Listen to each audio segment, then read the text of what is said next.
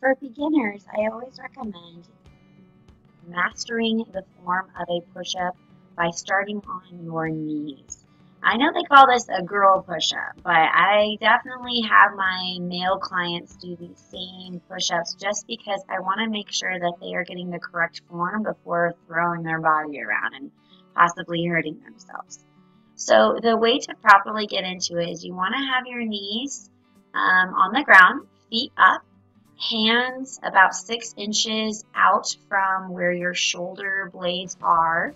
And then I like to put two plates down on the ground because that's a good reference point as to where your chest is supposed to go.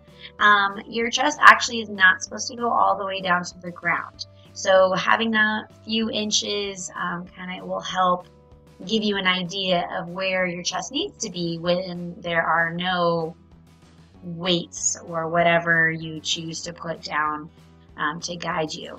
Make sure that if you are using the weights or a cup or something like that, that it is in between both of your hands.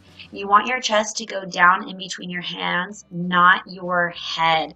You'll see a lot of people dropping their head down, leaving their hips up, and that's actually going to be putting a lot of pressure on the shoulders and not on the chest at all.